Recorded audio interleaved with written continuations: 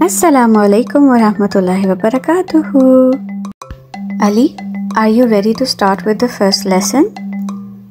हम पहला lesson start करें Let me tell you, there are three letters that make up almost all the words in the Arabic language.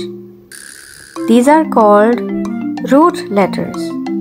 These are called root letters.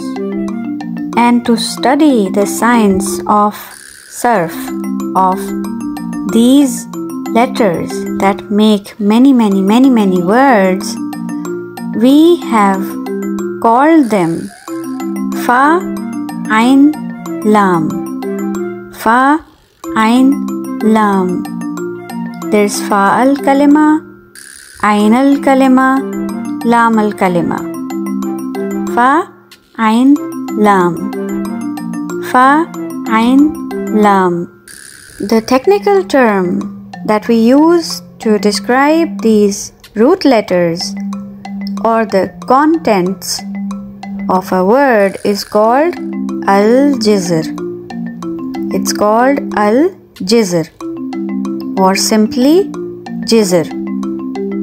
The root letters are called jizr.